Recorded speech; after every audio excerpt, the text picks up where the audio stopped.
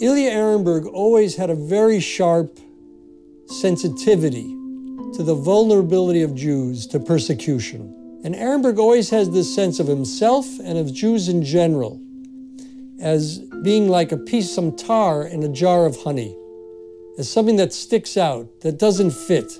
And he understood that Jews were vulnerable in European society. And so when he wrote his first novel, The Adventures of Julio Chronito, which he wrote in Paris in 1922, surprisingly, he has this astonishing chapter where he foretells the Holocaust.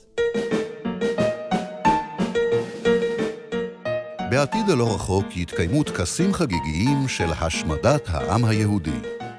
נוסף על הפוגרומים המסורתיים האהובים על הקהל, התוכנית תכלול גם שריפת היהודים המותאמת לרוח תקופתנו.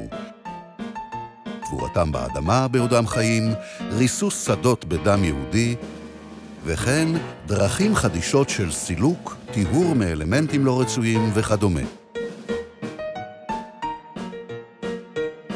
פרטים על הזמן והמקום בהמשך. הכניסה חופשית.